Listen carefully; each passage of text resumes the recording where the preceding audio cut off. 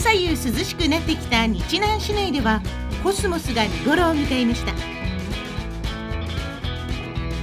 風田地区の県道434号線沿いではコスモス畑をバックに地区住民による手作りかかし25体がお目見え。学生カップルやテニスをするユニークなかかしも見られ道行く人の目を引きつけます。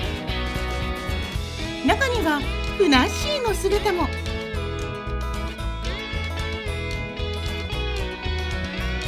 星倉地区の横手公民館付近のあぜ道では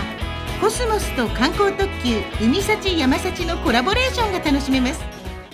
今年で2回目となるコスモス祭りが10月24日日南市細田上方地区で開かれました。8月末に種まきをした240アールほどある田んぼのうち3分の2が台風の影響で竹が短くて生育が悪く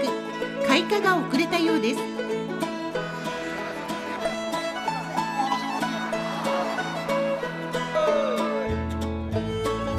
訪れた地区住民およそ60人はキャンドルとコスモスを見ながら話に花を咲かせているようです。麗ですね。帯に明かりを灯す会による200個の廃油キャンドルによる演出も見られました。